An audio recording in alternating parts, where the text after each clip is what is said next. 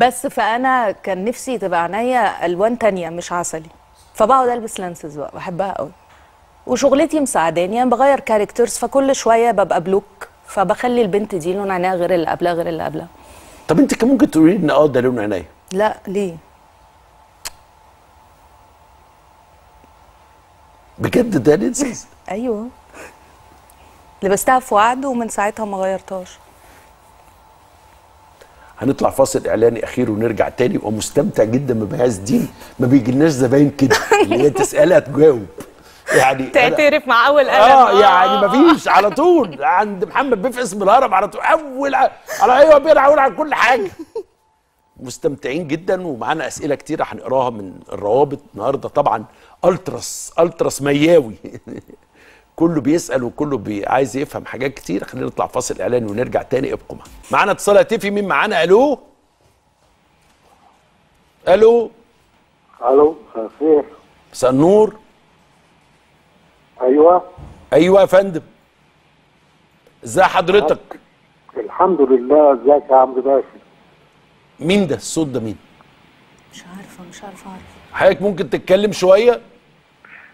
اتكلم أقول إيه بالظبط يا عمرو؟ يعني أقول مثلا إن أنا فخور بالانسانه الحلوه اللي قاعدة قدامك دي لانها باختصار شديد ومن الآخر يعني روحي اللي بتنفسها وعيني اللي بشوف بيها.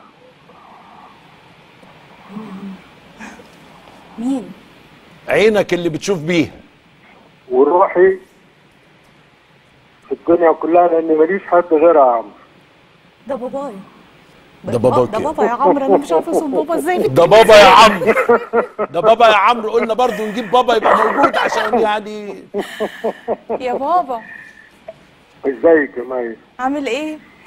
الحمد لله يا حبيبتي. أنا بس عايز أقول كلمة صغيرة ليكي في حضور عمرو وفي حضور جمهورك الحلو ده. أنا فخور جدا بيكي وباللي عملتيه لغاية دلوقتي. بتأسف لك عن الفترة اللي بعدنا فيها عن بعض كتير وكنا بنشوف بعض كل سنة. ويعلم الله كنت في عقلي وكياني. فخور بيكي عشان عملت كيان وشخصية وحاجة حلوة في وسط الناس العمالقة بتوع الفن. ربنا يزيدك. آه، اللي عايز أقوله يا عمرو كمان إن الإنسانة دي هي اللي بتفكر في كل حاجة وبتقلق قوي قوي في شغلها. أكتر حاجة بتضايقني دلوقتي إنها بتبقى قلقانه وأنا من جوايا خايف. يعني من من عمل لعمل ما عندكش فكره بتبقى عاملة إزاي يا عمرو. دي بتعيط بال lenses دلوقتي. حاجة تانية عايز أقول لك يا عمرو إن أنا فخور بمي واللي عملته. وكان في فترة يا عمرو يمكن محدش يعرفها كنت ساعتها بخاف على مي قوي. لأنها كانت يعني ما بتنزلش الشارع تعدي لوحديها ما كانتش تعرف حاجة على الدنيا. لما دخلت في الفن قالت لي بص يا بابا يعني أنا اتعلمت كتير دلوقتي بقعد مع فلان بعديها على طول بعرف الانسان ده طيب وحش. ودي حاجة أنا اتبسطت لها عمرو قوي والنقط كمان معلش أنا مش عارف أرتب كلامي.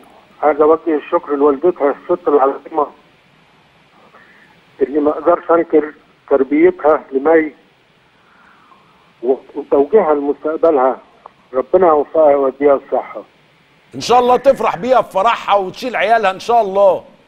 والله يا عمرو يعني ربنا هجيب لك يعني هجيب لك كيلو بسبوسة واجي لك لغاية عندك. بس ما تنساش القشطة عندكم قشطة في أبو ظبي؟ والله يا عمرو بالليل ما فيش حاجة في قلبي ولا في تفكيري إلا الحتة دي عشان أشوف بس إنتاج مي عز الدين بيبي صغير كده وربنا يخلي لها أختها وجوز أختها ويكملوا مع بعض في الدنيا يا رب. ربنا يخليك يوفقك ليا يا. بابا. ربنا يخليك ليا يا بابا. مش عايزه تقولي ربنا لابوكي أي حاجة. وي- ربنا يخليك ليا ويديك طولة العمر وتفضل دايما جنبي. ربنا يخليك. ربنا يخليك يا مي. عمرو ميرسي على المداخلة وأنا آسف إن أنا عطلتك عن كده لا يا فندم عطلت إيه ده؟ أنت نورتنا. هاتوا مناديل يا جماعة ربنا الست يخليك. بتساحب ربنا يخليك ويديك الصحة. طيب ماشي. شكرا ليك يا فندم.